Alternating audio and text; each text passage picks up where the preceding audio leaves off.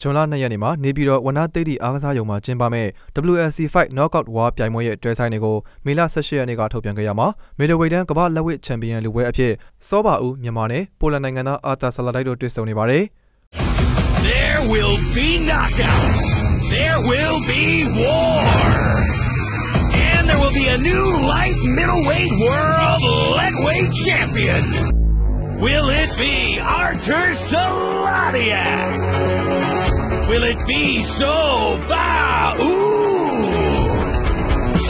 The greatest bare knuckle event in the world. WLC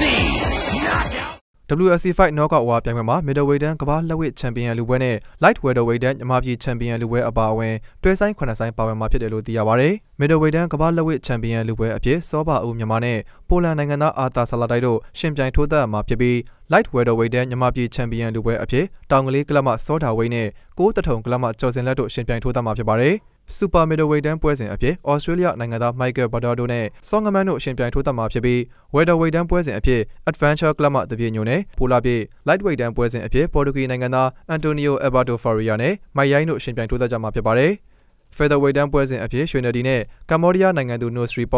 Light Welterweight တန်းပွဲစဉ်အဖြစ်တော်ဝင်ရိုးရာကလပ်မစောထုအောင်နဲ့ကိုးတထုံကလပ်မလက်သီးမိုးတို့ရှင်ပြိုင်ထိုးသက်မှာဖြစ်ပါတယ်။